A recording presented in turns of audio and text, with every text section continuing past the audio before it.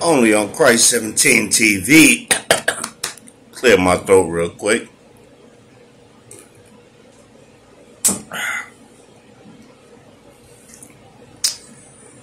How about the Miami Heat, huh? Jimmy freaking Butler. Celtics are in deep, deep shit right now. Tatum back to back games at home with no points in the fourth quarter. Check this out. You ain't gonna win no games if he ain't scoring in the fourth quarter. You're gonna get swept out the series. I'm gonna tell you this. Right now, if the Heat go back and win game three, they're gonna sweep the series. That's just how I see it. That's just how I see it. Miami Heat wants it more than Boston wants it. You can see it all over the court. Yeah, they go on them runs. Boston gets up by about nine, ten points. But then they put the clamps on them. They go on the run. Now it's a two point game or a tie game. End up getting the lead at halftime. and never never looked back. Just kept it close.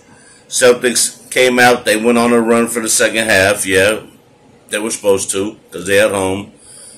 But there's no quit in these Miami Heat, man. I'm telling you, this team is serious. They knocked out the Bucks. They knocked out the Knicks, and they're gonna knock out the Celtics to go to the finals. And I think they're gonna play Denver Nuggets. Right now, Tatum ain't playing like Tatum should be playing, like he's top five player in the league. That's definitely you could do all you want, but if you don't show up during crunch time, clutch time, it doesn't mean shit. You don't even win a game at home for the first two games. And the craziest thing is they had they had the Celtics nine point favorites in both games. Nine points. After the first game, I think it was eight and a half points. They put it to nine and a half. Did anybody who's putting out these bets watch the same game that I watched in game one? Jimmy Butler is not, he's the best player on the floor in the series. Jaylen Brown, Tatum, yeah, you got these guys, but Jimmy's not to be fucked with, and Bam is playing his ass off. And they hitting the clutch threes with Lowry, Vincent, Strus.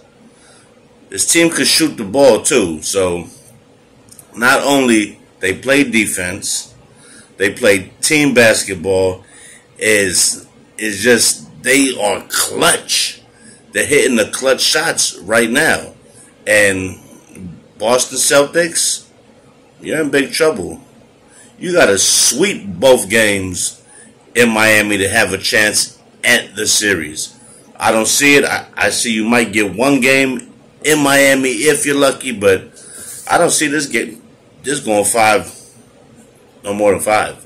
They're going to win two out the next three games. Two out the next three.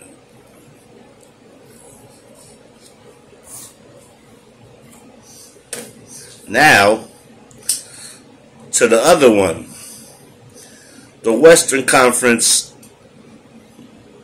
Finals. All they talking about is what the Lakers need to do and this and that, not giving Denver no kind of love.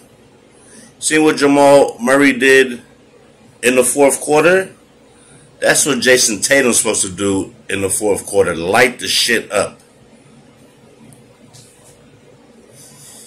If Jamal playing like that, Joker's playing at the level he's playing, and you got Brown, Porter, Gordon, all these guys chipping in, Caldwell Pope this might not go five, six games. If they take one game in LA, it's over in game five. Done deal. They're not losing at home. They're not. And Anthony Davis, you can score 40 points all you want. when the Joker's getting triple doubles every game, it's a wrap. It's a wrap, baby. It's a wrap. It is a wrap.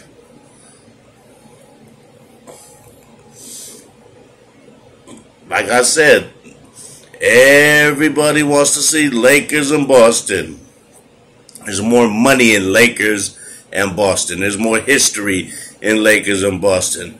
Nobody wants to see Jimmy Butler versus the Joker. I do. I do. Who doesn't want to see a fucking scrappy team like the Miami Heat play a fucking team like the Nuggets who know how to pass the ball and boy do they pass the ball. Joker by himself over 10 assists each game. Over 15 rebounds each game over 20 something points each game. LA, y'all better get game three or you can kiss this shit goodbye. That's a fact, buddy. Street closed. Davis, yeah, he could score 40. LeBron could drop his 27, but when the rest of the team is not hitting big shots, guess what? You're not going to win games in the playoffs unless you clutch in crunch time. And that's a fact. That's just how it is. So you can talk all the shit about Lakers need to do this, Lakers need to do that. The Lakers need to stop the Denver Nuggets from doing what they do best, and that's move the ball around and get a great shot for any other shooters. Michael Porter, it doesn't matter. Them boys are hitting threes and knocking shit down. Pope been hit, hitting clutch threes. And right now, it looks like it's going to be the Nuggets versus the Heat in the finals. Something nobody wanted except me. That scrappy team, guess what? In both games, I've took I've took the Heat with the points and won my bet. Took the Heat with the eight and a half and took the Heat with the nine and a half. Because I know they're not going to blow out the Heat. Ain't nobody's blown out the Heat the whole damn freaking playoffs. I think the Knicks did one game. That one game when they won by maybe 13 or 15, some shit like that. But it took a crazy run in the second half to even get that game like that because it was a close game the whole game.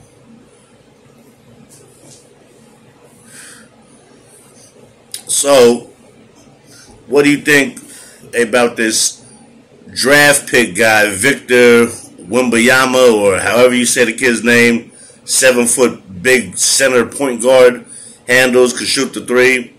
I think he went to the perfect team. As long as Pop stays around, this kid is going to be okay. I got a friend of mine, you know who you are, bro. He say this kid's going to be a bust because he's too skinny. I say bullshit. Skinny's the new thing in the league. You don't bang like that all the time no more. Everybody's shooting three, so this is a perfect, perfect league for this kid to be until he puts some size on. Perfect. It's like Chet Holmgren. He got hurt. He got hurt. Stepping on LeBron's foot. Yes, he did. But I think that kid is going to be something special too. And he's skin and bones. But that's why they got training and they got trainers. They got stuff to do. Get your ass in the weight room and he's going to put on some weight. Do I think he's going to be a Hall of Famer? Time will tell. Do I think he's going to be a bust? Absolutely not. Absolutely not. The kid's got special talent. Chet got special talent. I've seen him play a lot for Gonzaga. I haven't really seen the Victor kid play. I've just seen seen highlights. But like, like my bro said, everybody that tall always has problems with their feet. So as long as he don't get hurt, I think the kid is not going to be no bust. I think he's going to be something serious in this league with that size and that skill and that talent. So, I mean, let's see. But the Kings have draft rights to this kid in the Europe League who just won the league MVP. His name is Sasha Venikov. And he's supposed to be a shooter, lights out, great great defender, and just hungry ball player. Dives, does all the little things that makes him great.